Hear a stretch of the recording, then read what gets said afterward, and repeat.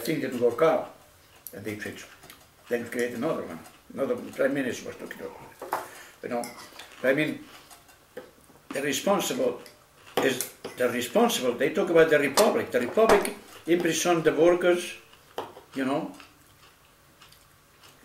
closed the, the labor unions, closed the, the Athenaeus, so the, the, the, the labor union centers, everything that. And the only reason why in, in, in July, in, in April, no, in May, no, in June 36 was an election was because there was a lot of prisons, militants in prisons. I vote the Republicans should to get people out of the prison. But the anarchists the, the, the, the government because the government was, was a, a government that only obeyed the church and things like this, even that he put some laws against the church. It was, was so afraid of revolution. Because at that time, at my time, when I was a young, we saw that the new world was coming. We could feel it that. And in July 36, we see it became a reality in many in many villages and cities and towns in Spain.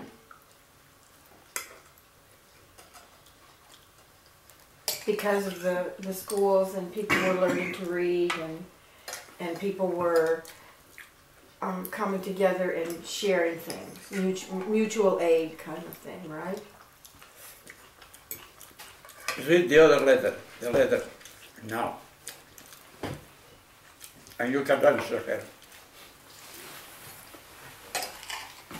What other letter?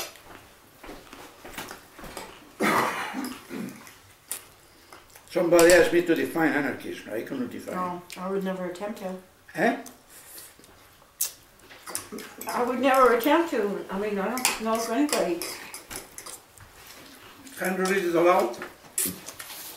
So it's yours, Yeah. right? Okay.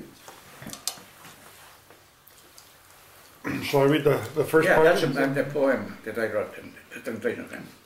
Like the stars, the night, like the sun, the day, the dawn, the morning, the flower, the petal, the bee, the nectar, the beehive, the honey, the lover, the beloved. No one carries, so one carries the ideal in one's thought and in one's heart. You get it? I'll give you a copy. There's some, Yeah, so it's like anarchism is the ideal. no, but the whole letter you have to read it. Okay, Can you? Can you stand the whole letter? sure. Do you want me to read it? Shall I read it aloud? I would like to. You ask me if I can define anarchism. It is very difficult for me to do concretely. Personally, I don't consider myself good enough to call myself an ar- anarchist because I've always believed that to be one, it would be necessary to reach the extreme point of sacrifice and to devote oneself without reservation to doing good, without limit, and without cease. I can say that I still find myself tied to those endless commodities that contemporary society has created and even though I try to limit them as much as I can, it will never be enough. The, Tol- the Tolstoyan spirit that commends the freedom of the isolated individual, I will never be able to attain. As you know, I grew up in the environment of a working class family with very limited means when libertarian ideas were spreading and increasing the hopes of being able to create a better world. So at home, I would read Solid, Solidaridad Obrera and La Revista Blanca or Estudios, the libertarian press. when my father was dismissed from his job because of his advanced age, I could read the newspaper to him and to some of our neighbors who would gather at the door of our house to enjoy the fresh air, as was the custom in those days. As much from what I read as from the conversations that frequent, frequently took place at home at supper on workdays or at Sunday dinners, I became imbued with the spirit of the times and shared with my family the same concerns and strong desire to work to attain the ultimate goal of a three, free libertarian society, a dream which we were convinced would soon become a, a reality. Today, almost three quarters of a century later, it is very difficult for those who did not live that period to comprehend the feelings, the disquiet, the sentiment, the unselfishness the workers felt, those who gave of themselves completely in unions and educational programs, all at the cost of firings, persecution, imprisonment, torture, and even assassination. It was a unique environment that came to shape thousands of compañeros. Brotherhood and sacrifice characterize, characterized the men and women who wrote those beautiful pages full of exploits that today we want to erase from history, but that still remain alive in the hearts and minds of those of us who learned how to understand those ex- exploits and to relive them intensely. After all this, I have not answered your desire to know what I think of anarchism. Anarchism should be the ultimate expression of freedom in all its meanings, a freedom that does not interfere with and that always respects the freedom of others. I could also say that for me, anarchism is something more than the economic organization of society based on the free association of individuals which exist in many collectives and villages in Spain during the revolutionary period of 1936 to 1939, especially in Aragon, the Levant, and Catalonia, uh, Catalonia, and in other anti fascist regions of Spain. It should embody an implicit respect for life. It is a reaffirmation of the human being based on feelings of, an, of affection, feelings and affection that make one perspective the yearnings, hopes, sorrows, and pains present themselves in the course of our existence.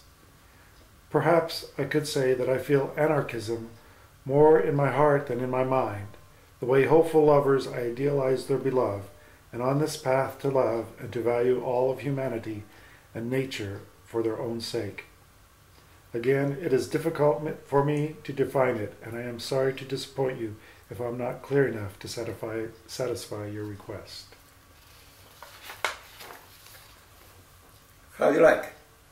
Very much. This is the translation that I wrote in Spanish. Well, That clear enough. I I don't defend. different. yeah, well, I mean, I'm, So is that shared by uh, your neighbors? that's I mean, very did your, humble. did your neighbors feel that same energy? It's the feeling at that time. There's a feeling of that. That that I grow this way, and I carry that feeling with me. And uh, when July 19, for me, it's a, I still carry that spirit, and I, I do everything I can at least keep that memory alive. Were were there people that you knew that were like fired from their jobs or persecuted, like in your Oh, yeah, neighborhood? yes, yes. That was worse after Franco, after Franco won. My brother-in-law was sentenced to death and was four months waiting to be executed every night. Finally, I committed for 30 years and then he, he, stepped, he spent six years in prison. And then when he went out, every, every, every, every weekend, Saturday and Sunday, he had to go to the police to present himself. Like he was on parole or probation or something. And what year was that? No, 148. Okay.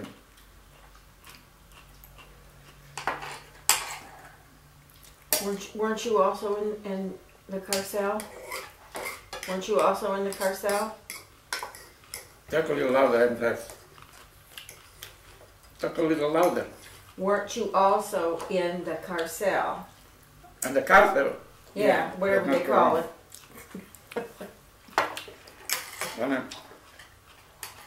I, I, cro- I crossed into France. I was two years in a concentration camp. But then In later I went, I went to work outside and then they were controlled by the by the an office. And they put me in the list to go to Germany to work from the war. I was three times, but then when I couldn't anymore, I, crossed, I went to France. They put me in prison. From the prison, They sent me to, to North Africa to do military service. I was there two years. And you know what happened? Nice. N- Nineteen, what year?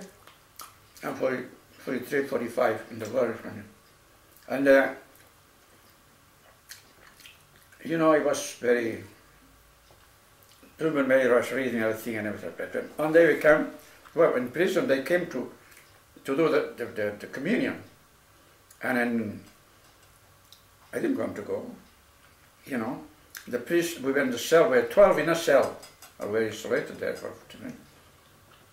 Priest would come, you want to go to a communion? You don't have to, you don't want. And then he was demanding and imposing.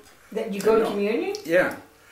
And then of the whole, the whole, the whole Cell. prison, no, the whole prison, only 11 we didn't go.